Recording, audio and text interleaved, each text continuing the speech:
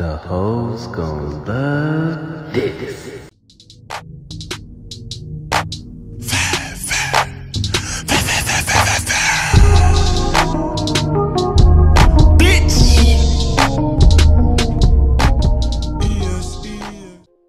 What's up guys, it's your boy Ty SkiDDz here and today we're back with another CarX Drift Racing online video.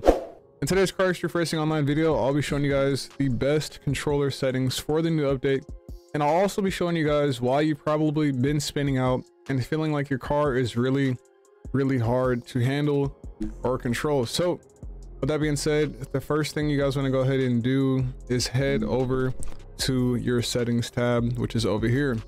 Once you're in the settings tab, go to the controls.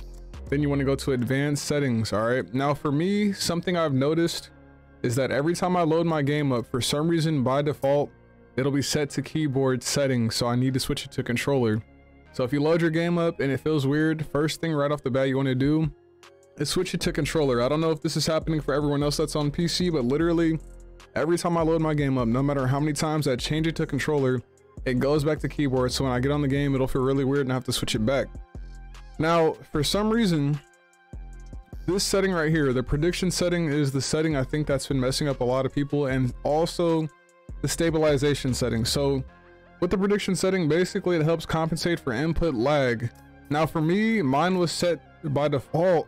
mine was set by default at 1.0 and I'm like, I don't even need that because I don't have input lag. So if you have prediction turned up. You want to turn that down. Turn that down. Next thing is right here. This is going to help you make your car and your input really, really smooth.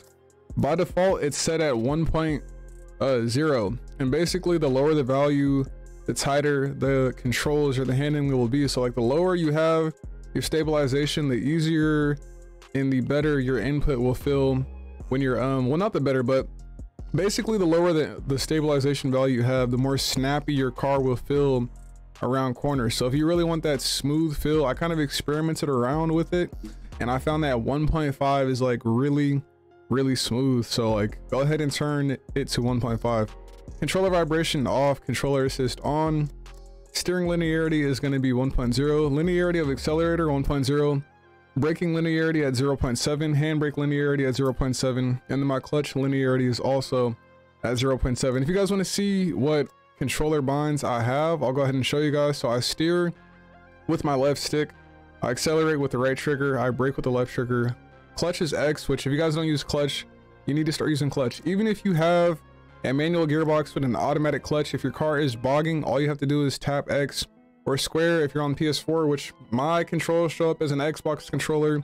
I don't know why, but I am on PS4, but you need to learn how to use clutch because like in real life, sometimes a car can bog too. And all you have to do to clutch kick to keep your car from bogging if it does bog is keep holding the gas and hold down the clutch for like 0.5 seconds and then let go. And it'll keep your car in high rev. My handbrake is X. My flashers, I have that off. I don't have it binded. Next camera is Y or triangle. And then I shift up with R1 or it could be RB if you're on Xbox. And then I downshift with L1. LB if you're on Xbox. And then basically that's all my controls. And then turning my headlights on and off is just the right stick. I don't have the ignition or starter set up because I have a simplified um, ignition type. If you guys are having trouble starting your car in the game or you have a check engine light on your car in the game, turn the ignition type to simplified. That'll fix that problem. But with that being said, I just wanted to bring you guys a new updated controller settings video for the update because I know a lot of people have been struggling with the way their car feels and things of that nature. So hopefully this video was helpful and useful for a lot of people. But that being said, this has been your boy Ty SkiDDz playing CarX Racing Online, and I will catch you guys in the next one. Peace.